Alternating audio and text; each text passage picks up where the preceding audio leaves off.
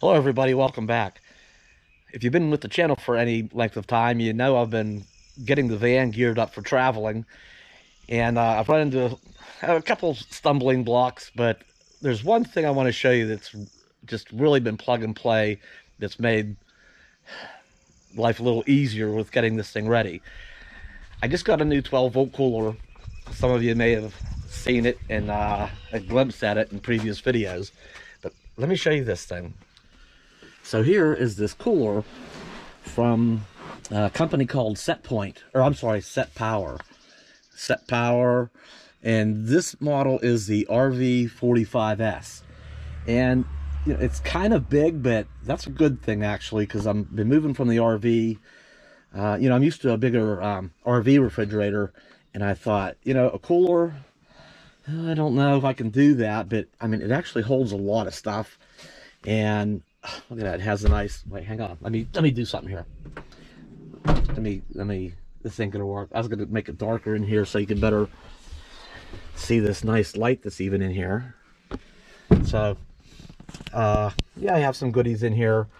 And this actually lights it up, you know, if it was darker. This actually lights it up very nice in here.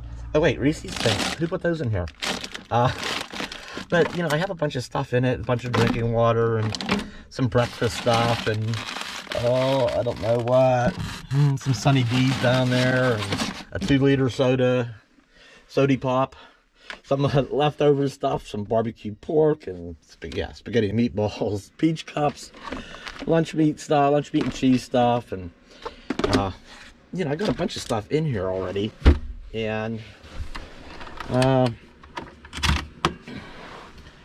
and it's been working really, really, really good. It is a refrigerator freezer, you know, it's not just a cooler. Uh, it does have the uh, compressor in there and the controls and it um you know it just has an initial glance i mean right off the bat i notice you know the quality in it you know it's not something that's just all plastic and you know has metal latches on it and you know how many coolers do you see that have you know plastic latches and handles and they break after a while? But you know this is really nicely built. And it just seems really thought out. And you know and you can tell it's not a cheap product. And a lot of things that have gaps in them are uh, you know, it's real tight at one end and loose and sloppy on the other. And I mean, all the way around, this is just, everything's just really nicely fit, you know, and the panels are all, you know, there's access panels, I guess, if it had to be serviced at some point, but there's, everything's put together with screws and, you know, it just seems like a really nice, heavy duty, uh, just a really well built model. I mean, my initial reaction was, you know, it arrived undamaged. It was well, well packaged it didn't look, look like it was bouncing around the back of a truck or thrown around in a warehouse or anything. Uh, it showed up, not a scratch on it. The um, took it out. It's just uh, just perfect. Look good. Uh, you know, good first impression on it. And another thing was the manual that comes with it. You can actually read it without a magnifying glass. I hate you ever get stuff with a manual that you know you got to squint or I mean this print is so small. Look at this. See, nice big print, easy to read. Uh, everything from maintenance to cleaning, uh, how, you know, how to operate and everything. Uh, it's, it's just, well, it's just a good manual that comes with it. I have bought products that, good luck with the manual. Um, so, so far, I mean, it gets a pretty good score for me. Now, to me, there's a couple ways you could use a cooler is, you know, the first thing comes to mind is, you know, a typical cooler that, you know, you gotta get it ready, dump a bag of ice on it, and, you know, what happens after a little while? The ice starts melting, everything inside swimming around in water, you know, a lot of things. That's fine for drinks, but if you have food in there, you know, lunch meat, cheese, the, I don't know, when that stuff gets wet, it gets pretty, you know, never seals up real good and it just gets nasty. So it's nice that it is actually a refrigerator uh, and a freezer. So it can be used as either. And yeah, I have it set at 41 degrees right now. No, well, it, it's actually at 41 degrees right now. And let me adjust this camera a little bit here. How's that? Hang on. Yeah, this will be better. So it's set at for, where do I have it set? Yeah, right at 41. So, and that'll blink for a minute uh, and then go back to its the inside temperature. But this can be used as a freezer. I mean, we'll get it to kick on here, okay? Let's turn it down to like 16 degrees. It'll kick on here, I'm sure. How about 5 degrees? And it runs pretty quiet. Come on, kick on. There we go. So, now in the manual or on the website, on the Setpower website, it rates this at a 55 watt uh, unit. That uh, but I've only been able to get out out of it. You know, right now it's pulling 34. That's the most I've ever seen out of it.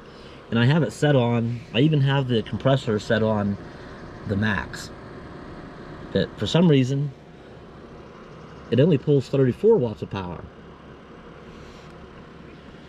And it doesn't run that long. Let me, we don't need to, we don't need to freeze anything in there. Um, but it will. You can set it down there and use it as a freezer.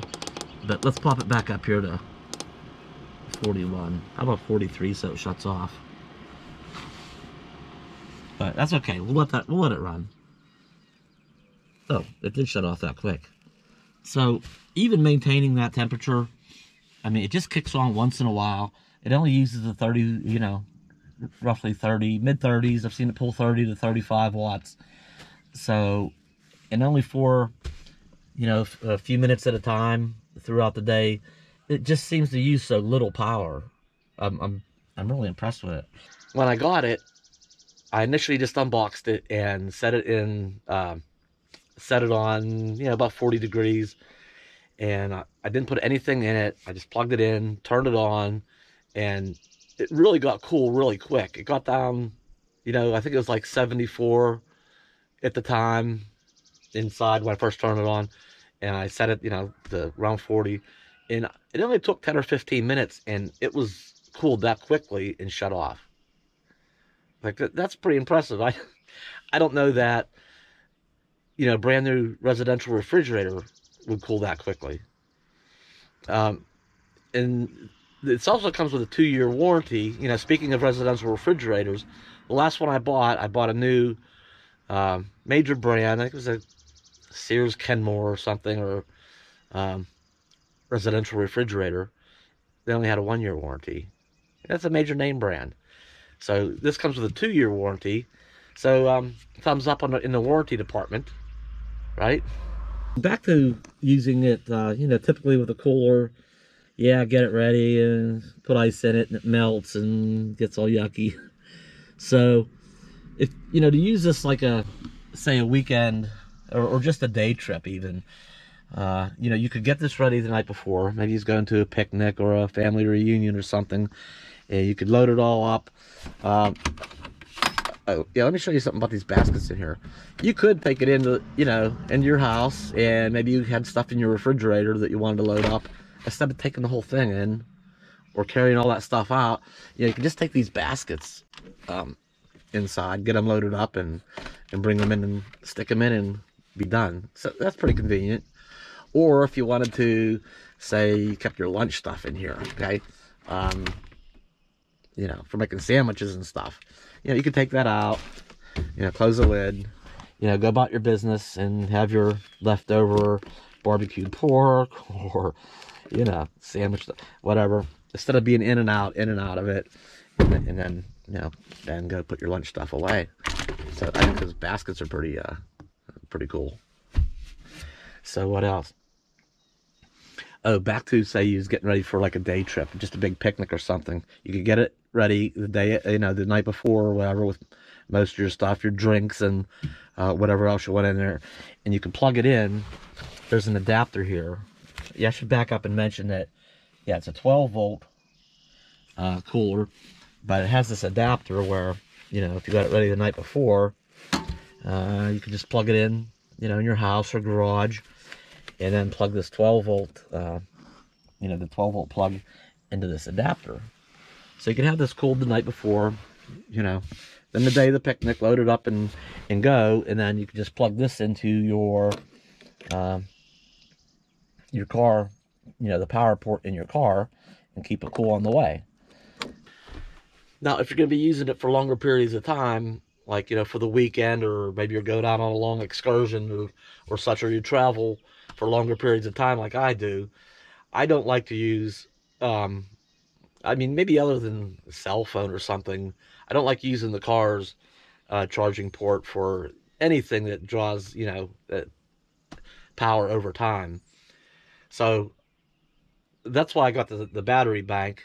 I, I just don't want it to ever take a chance of draining my car battery and being stuck somewhere and uh, having to get a jump or something. So for longer periods, I've it's what I do, and I'd recommend getting a, a, a power supply. A uh, whether you have house batteries, uh, like in an RV or a van, or if you build in a built-in solar thing and it had a battery bank and an inverter and all, all that kind of stuff, you can you just plug it into that or one of these portable ones. But yeah, I wouldn't use that for long long term. Although if you did, it does have this um, this battery protection. So I have it on low right now because I'm not worried. I have plenty of power here. Uh, but you can set it on, uh, you can put it on high for a higher level of protection. So it will automatically cut off, you know, if your battery uh, in your car or truck SUV gets too low. Um, that way you don't get stranded with a dead battery. So it has the power protection. And uh, also, you could probably put it on minimum too, the compressor speed. And I have run it on that, and it maintains it just just fine. I think the the maximum setting is for if you just want to, you know, cool down quickly. That once it is cool, uh, you could probably just put it on minimum, and it would maintain it just fine. So I'll tell you something else about the power consumption is now this portable solar uh, unit here is a thousand watt hours. And I have left this on for uh, six days. This when I back to when I first got it okay? I know I'm all over the place with this video. Uh, I just plugged it in and left it run and I'd forgot about it. I didn't really forget about it. I just I was so impressed that after the first day, it was still, you know, I went from 100% to, I forget what it was the first night, but it, um, after the first day, but it was so minimal. I thought, I'm just, I'm going to go a second night, maybe a third night. I'm going to see how long this thing will actually run. Now, keep in mind, it was empty, uh, and they do run more efficient when they're full and everything's cooled down to temperature. But it was empty. But keep in mind, too, I wasn't in and out of it all the time either, you know however many times a day. I just left it shot, just left it run, kind of exercising it. And um, it ran for six days and it was only down to 16%. So I, I probably could have gone a seventh day. Now, nobody uses them like that. You know, you're in and out of them, obviously. So, um, you know, another test was I'd run this down because I was using it for some other other jobs, uh, you know, the laptop and uh, recharging some other batteries. But the other day, I charged this back up to 55%. And, that was it because I was out of time. I had to go somewhere. so I unplugged it. But I charged it up to 55%. Now, this is on the third day. Okay. And it's only down to 21%.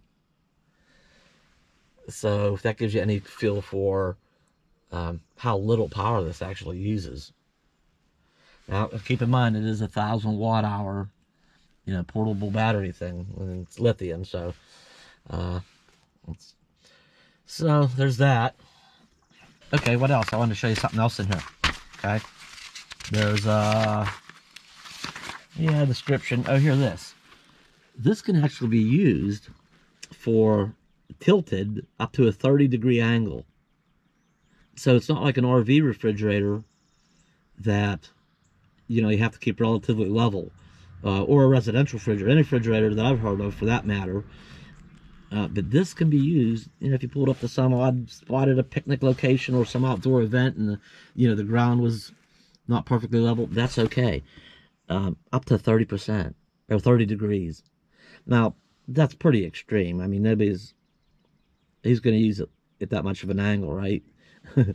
But it allows up to that is designed to be used up to a 30 degree angle. That's crazy. And also says to make sure you don't block the, the air vent so it can cool its, itself properly. Um, yeah. Anyway, yeah, it tells more about the battery monitor, you know, the battery protection mode, and you know, powering it, powering it on and such. So, you know, it's a real well put together manual too. Real straightforward, easy to read, energy saving tips, you know, maintenance and cleaning. So, yeah, it's a really, I think it's a really, really well thought out unit and very efficient. Yeah, it cools very well and it doesn't use that much power. The other thing about the RV refrige, and I, you know, I've been happy with propane.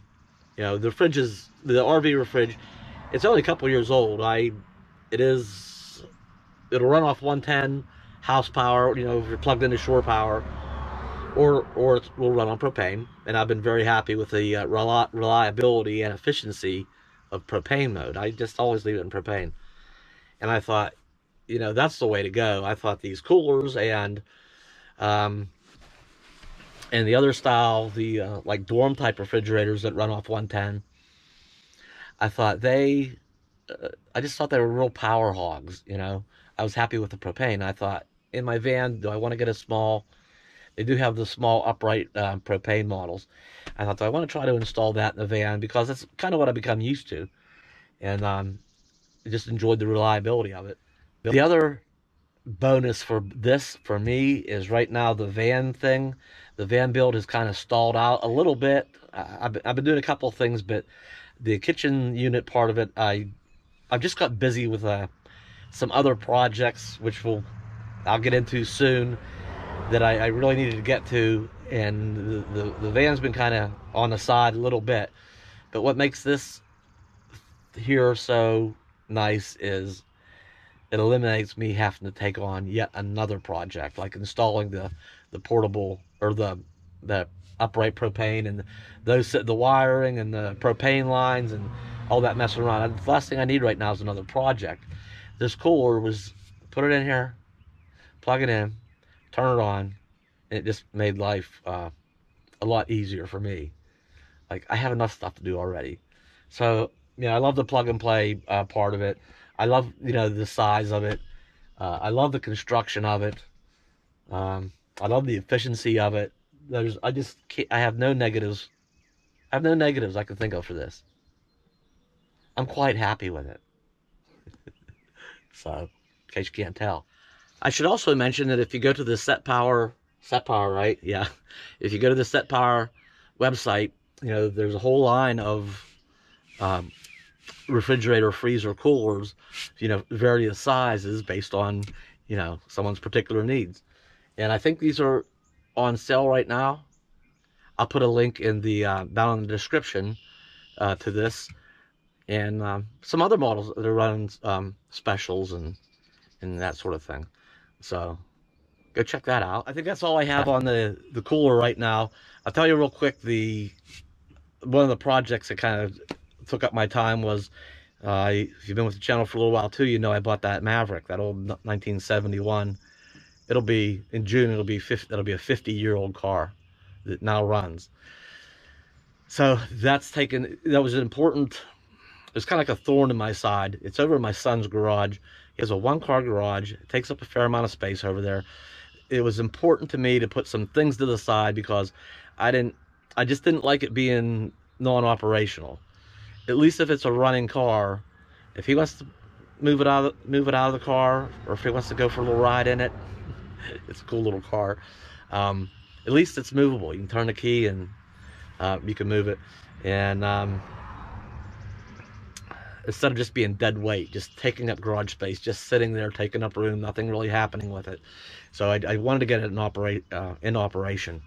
So that was important for me to reach that point. Now I can kind of get back on the van by the way, if I made two videos that I put over on my other channel, if you want to know more about the the Maverick, and I stopped up, we did take the van out on a little um, maiden voyage.